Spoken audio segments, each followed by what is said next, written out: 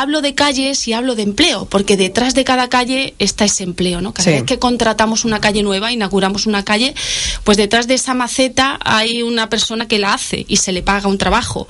Detrás de, cada calle hay una empresa esteponera que contrata gente y que están ahí, estás dando de comer a familias de una forma indirecta, ¿no? Estás embelleciendo el municipio, poniéndolo en valor y a la vez estás generando empleo, ¿no? Esta es la apuesta de, de este ayuntamiento.